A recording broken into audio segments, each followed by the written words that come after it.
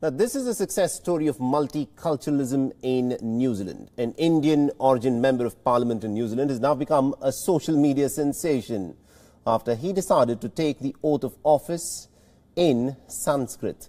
Now, the 33 year old is not the first leader to take oath in Sanskrit outside of India. Not many even take the oath in Sanskrit in India. It all started with a sitting president of a country. Our next report gets you the details. अहम गौरव शर्मा सत्यनिष्ठतया शुद्धाकरणेन वास्तविकतया च घोषयामि This is Dr. Gaurav Sharma, an Indian origin Kiwi legislator. Elizabeth Dvitya. The 33 year old was sworn into New Zealand's parliament on the 25th of November. निष्ठावान च भविष्यामि Within hours, he was making headlines for taking his oath in Sanskrit. Goaho ko Gaurav Sharma. Sharma also took oath in the indigenous Maori language. This was his way of showing respect for both India and New Zealand. Sharma hails from the Indian state of Himachal Pradesh. He moved to New Zealand in 1996. This was not his first run for office.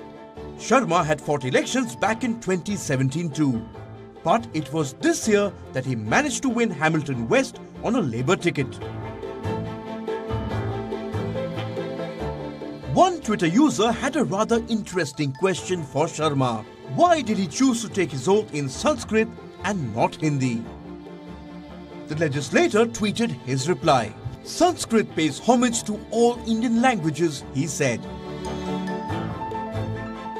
Sharma is the second Indian origin leader to take oath in Sanskrit.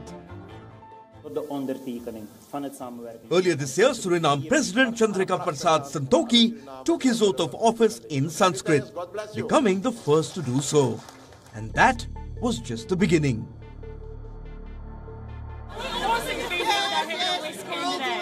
Bureau Report, WION, World is One. Co-presented by Skoda. Simply clever.